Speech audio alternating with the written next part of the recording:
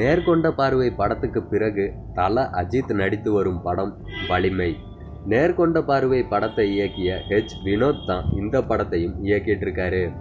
இதற்கு முன்பு சதுரங்க வேட்டை தீரன் அதிகாரம் ஒன்று போன்ற படங்களை இயக்கிய ஹெச் வினோத்துக்கு அதை தொடர்ந்து அஜித்தை இயக்கிற வாய்ப்பு கிடைச்சிது. முதல்ல பாலிவுட்டில் நல்ல வரவேற்பு பெற்ற பிங்க் படத்தை தான் அவங்க நேர்கொண்ட பார்வைங்கிற பெயரில் ரீமேக் படமாக உருவாக்குனாங்க. அதை தொடர்ந்து தன்னுடைய சொந்த கதையை வலிமை அப்படிங்கிற படத்தை எடுத்துட்ருக்காரு வினோத்.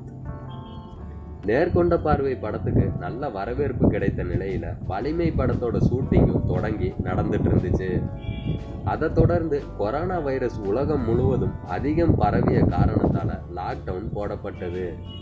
படத்தோட ஷூட்டிங் நடத்த முடியாத சூழ்நிலை தற்போது வரைக்கும் இருந்துட்டு தான் இருக்குது இந்த நிலையில தற்போது வலிமை படத்துல ஒரு முக்கிய சண்டை காட்சி பத்தின தகவல் வெளியாகி இருக்கு. சிறுத்தை சிவா இயக்கிய விவேகம் படத்துல செஞ்ச விஷயத்த வலிமை படத்துலயும் அஜித் செய்ய இருக்காருன்னு தகவல் வந்திருக்கு. சிறுத்தை சிவா கூட நாலு படங்கள்ல இதுவரைக்கும் பணியாற்றி இருக்காரு அஜித். வீரம் வேதாளம் விவேகம் மற்றும் விஸ்வாசம் ஆகிய படங்கள் நல்ல வரவேற்பையும் பெற்றிருக்கு. குறிப்பா விஸ்வாசம் படம் நல்ல வசூலையும் குவிச்சுது. விவேகம் படத்தோட கிளைமேக்ஸில் அஜித் சட்டை இல்லாமல் சண்டை போடுற மாதிரி காட்சி இருக்கும். இது ரசிகர்கள் மத்தியில் நல்ல வரவேற்பையும் பெற்றிருந்துச்சு. அதே போல தற்போது வினோத் இயக்கி வரும் வலிமை படத்துலையும் ஒரு காட்சியில் அஜித் சட்டை இல்லாமல் வில்லன் கார்த்திகேயா கூட மோத இருக்காரு. இந்த தகவல் வெளியாகி தல அஜித் ரசிகர்கள் மத்தியில் மிகப்பெரிய எதிர்பார்ப்பை ஏற்படுத்தியிருக்கு.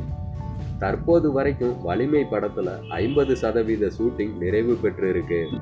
ஹைதராபாத்தில் உள்ள ஒரு பிரபலமான ஸ்டுடியோவில் ஷூட்டிங் நடைபெற்று வந்த நிலையில் அதை தொடர்ந்து சென்னையில் படப்பிடிப்பு நடந்துச்சு. அந்த நேரத்தில் தான் கொரோனா காரணமாக அது நிறுத்தப்பட்டிருக்கு. யுவன் சங்கர் ராஜா இந்த படத்துக்கு இசையமைச்சிட்டு இருக்காரு அவரோட பாடல்கள் எப்படி இருக்கும் அப்படிங்கிற எதிர்பார்ப்பு ரசிகர்கள் மத்தியில் பெரிய அளவில் இருக்கு. போனி கபூர் தயாரித்து வரும் வலிமை படம் அடுத்த வருஷம் கோடை விடுமுறைக்கு வெளியாகலாம்னு எதிர்பார்க்கப்படுது.